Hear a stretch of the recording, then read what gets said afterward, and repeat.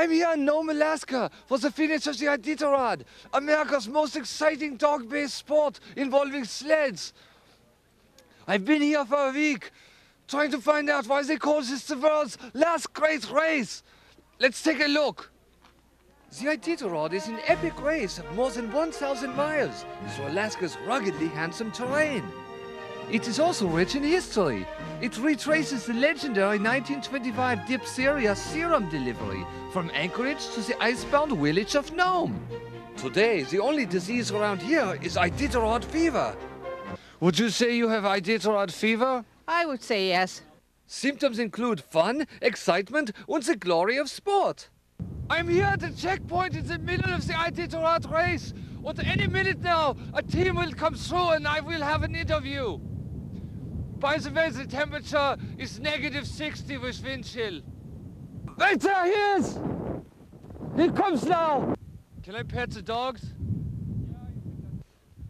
Oh my god, he's wrecked. From this desolate checkpoint, I ventured onto Nome. Welcome to Nome! During the Iditarod, the streets erupt into a carnival-like atmosphere. Meanwhile, out on the trail, local favorite Ramy Brooks was overtaken by upstart Norwegian Robert Sørlie. Back in Nome, Iditarod veteran Niels Hahn showed me that sled dog racing is much more than meets the eye. Let's do it!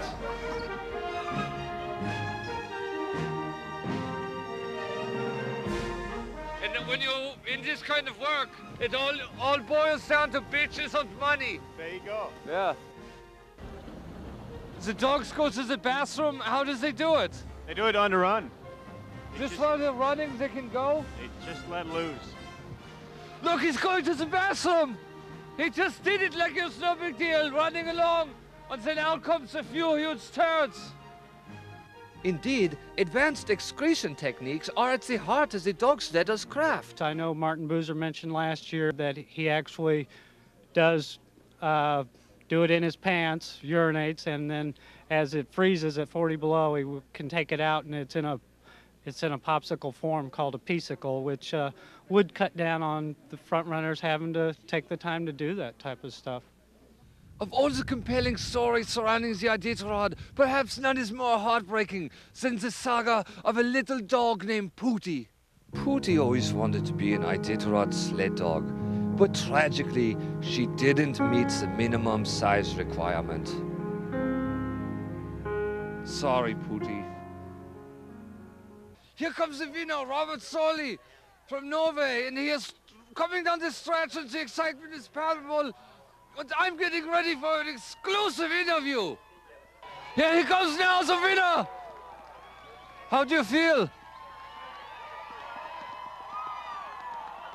Later, at the press conference, I caught up with him again for an even more probing interview. Robert, one question. D- do your dogs poop on the run? Yes, yes, I, I think so. Congratulations, Robert. Thank you very much. All right. This plucky Norwegian had fulfilled his dream, and it inspired me to realize one of my own.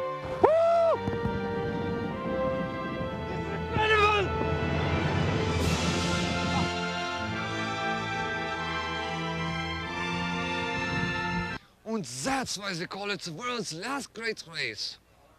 If I may add one final thought, I think it's true what the locals say when they say there is no place like Nome. Also, 100 miles to the north is a village named Kotzebue, which is remarkably similar. Back to you, Jimmy.